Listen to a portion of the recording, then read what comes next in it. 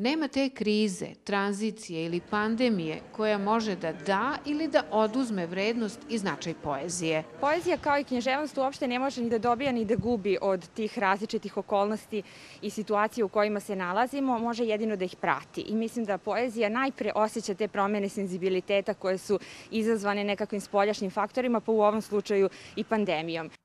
Ipak, čitanje poezije, upućenost na nju u teškim trenucima može dati odgovore i rešenja. Svakom je prinuđen da nekako se okrene sebi, da se preispita, da, da malo porazgovara sa samim sobom, a poezija zapravo čoveku nudi mogućnost za jedan takav unutrašnji razgovor.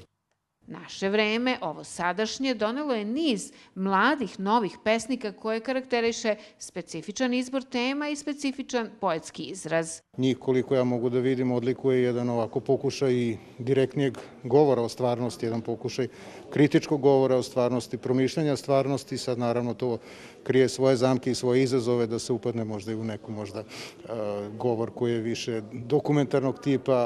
Ja gledam na to da poezija i književnost uopšte mora da se menja i zaista mora i što se tiče izbora tema, odnosa prema temama, pa i sam jezik to naravno prati. Ako je ta mlađa generacija sposobnija od starijih da oseti tu promenu, ja nemam ništa protiv toga.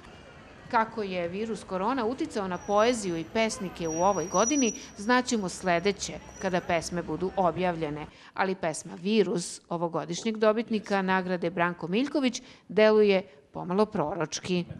Za sve je u stvari bio kriv virus zbog kojeg smo povraćali i gubili kilograme, a obavezni poslovi pritiskali meko, opominjuće, kao oblaci popodne kad je sunce već zašlo poslednjih dana novembra, izašli iz jeseni, a u zimu nismo stigli.